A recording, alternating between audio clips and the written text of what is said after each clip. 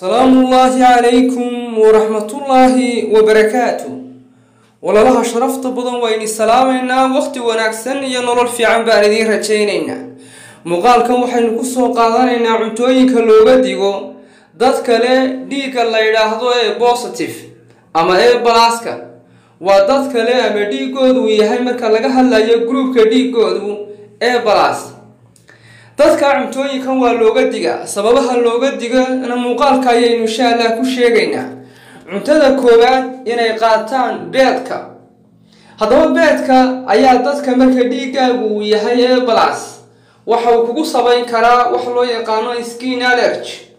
Ama maqaarkaaga ayaa waxaa ka soo baxaya finan iyo cuncun ayuu kugu abuuraya. Inkastoo beedku kala duwan yahay ama ukunta markaynu beedka leenahay waa ukunta ama ugxanta laga helo doorada ama digaagada waxa ay kugu samaynaysaa skin allergy waa maqaarka oo markaa ku cuncuna oo finan ay ka soo baxaan ama booga ay ku samaysmaan oo qofku la dhibaatoodo. Sidoo kale waxa uu ku dhaxalsiin karaa white exema waa xanuunka laynuu naqaano cambaarcadka ayaad ka helaysaa ama bulshadeena qaar ka mida ay qawadka yidhaahdaan. Xanuunkaas ayaad ka dhaxlaysaa haddaba fadlan markaad isticmaalaysa beedka. Guud ahaan xilli kasta waa lagaaga digaya haddii dhiigaagu ee balaas yahay inaad ka fogaato. Haddii laga fursan waayo waa inaad si saayida adabka aada ugu isticmaashaa oo aada uga samaysaa inaad markaas si wanaagsan aada u bislayso waxaa kaa reeban inaad sidiisa aada u liqdo. Dhibta ayaa sii badanaysa. Waxaa kaloo kaa reeban beedka ama ukuntu way kala duwan tahay inay noociisa aan asliga ahayn ama aan dabeeciga ahayn inaad qaadato.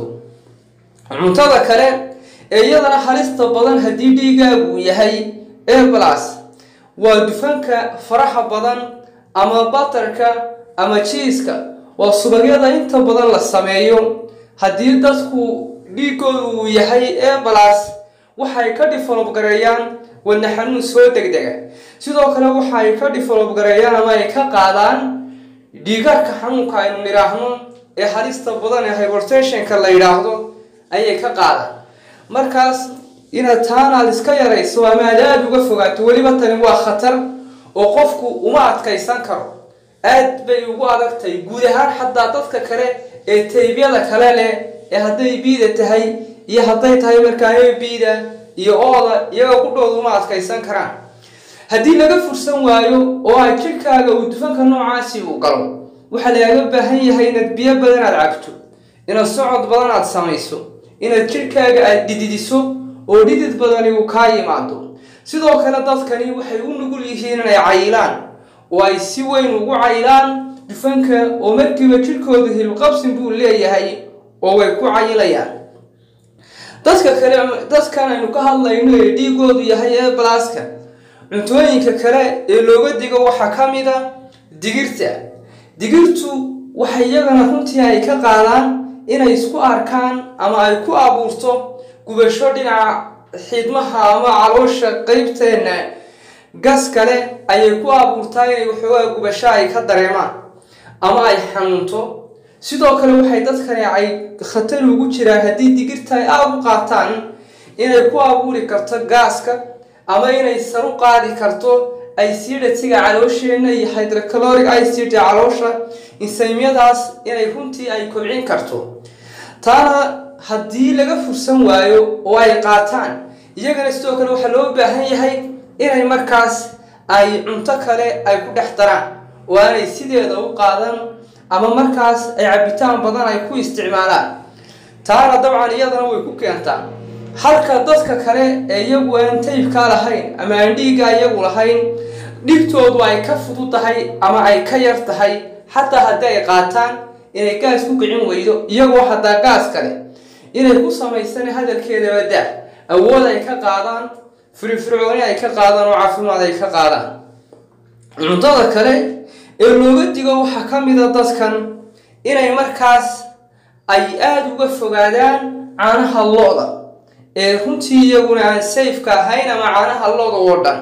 Waxay ku abuuraan caanaha loodii inay xiiq ay iska dareemaan inay markaa xagga resbaratoriga ama hawomareenka inay neeftu ay ku adkaato inay saayid u cayilaan inay gayn weyn ay qaataan oo culayskoodu uu bato inay markaa ay neeftuuraan oo neefta qaadashadeeda iyo marka ay haylinka iyo haylinka ay samaynayaan ama ay soo celinayaan ama ay qaadanayaan ay ku adkaato.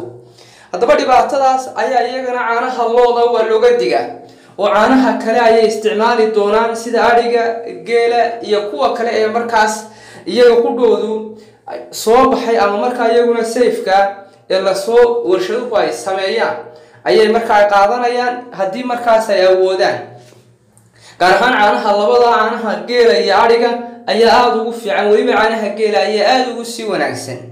Dadkan le inta badan dhiigga la yidhaahdo ee waxay runtii ku badan cadhada markaas inay waxoogaa dufanka oo xagga hore aynu ku tilmaamnay inay aada u yaraystaan ayaa muhima kaas waxa uu keenaa inay markaas ay diiqadoodaan oo ay cadhoodaan. Taasina inay markaa abuuri karto inay culays badan iyo cidhiidhi badani uu ku dhaco tiftaafyada dhiigga qaada. Sidaana qofka uu khatar ku geli karo inay markaas uu dhiigkar ku dhici karo ama xaalad kale markaa uu geli karo oo khatara oo markaa xataa xanuunada strooga ayaa xilliyada qaar dhakhaatiirtu ay ka digaan. Cuntada kale ee runtii dadkan iyadana dhibi karta waxaa ka mid a kalluunka kalluunka ayaa isaguna dadka uu dhibaa sababta uu dhibayaa waxa weeyaan awood waxa uu siiyaa saayida oo xadaafa markaa way qaadan karaan kalluunka laakiin xilliga aanay reeraha lahayn ama aanay weli guursan waxa uu ku abuurayaa dareeno saayida inay keenaan. Sidoo kale kalluunku waxa uu ka qayb qaataa inuu markaas hormoonada jidhkooda uu saayid u badiyo. Markaa waqtigaas aanay reerka lahayn ama aanay xaasaska ahayn way iska yarayn doonaan isticmaalka kalluunka. Cuntooyinka kale ee normalitiga ayay dabcan qaadanayaan. Haddaba dabcan kuwan imika aynu ka hadlaynaa scientifically researchka lagu sameynayaa waa inay kaga saameyn badan yihiin dadka kale oo markaa ay kaga duwan yihiin. Laakiin macnaheedu ma aha inay ka mamnuuc yihiin oo aanay afka saari karayn waa cunto kuwa xalaala waad isticmaali kartaa laakiin khatarta caafimaad iyo qofku waxyaabaha riskiga uu ku geli karo ama in dabcan waxyaabaha dhibaatayn kara caafimaadkiisa in loo tilmaamo waa muhiim haddii laga fursan waayana mowdka ay ka qaadanayaan ama xaddiga ay ka isticmaalayaan inay xaddi aada u macquula noqoto oo aanay badnaanin ayaa muhima muuqaalka muhiimadiisa intaas ayuu dabcan ahaanaya dad qofku sida marba uu helayo cuntadana way ku xidhan tahay iyo sida markaas uga faa'iidaysanayo iyo sida uu isticmaalayo. Haddaba haddaad dhiiggaa leedahay waxa kula gudboon in socodkaagu bato in mashquulkaagu bato in marka awooddaada inta badan aad isku daydo inaad maskaxdaada adaad u mashquuliso jidhkaagana aada mashquuliso cabitaanka biyahaaguna inuu bato saas ayaa dabcan caafimaadka jidhkaaga aad aada ugu ilaashan karaysaa la sii wadaaga oo u sii sheergaraya walaalaha kale aanu jecelnahay kanaalkeena inay qayb ka noqdaan fi amaan illah asalaamu calaykum waraxmatullaahi wabarakaatu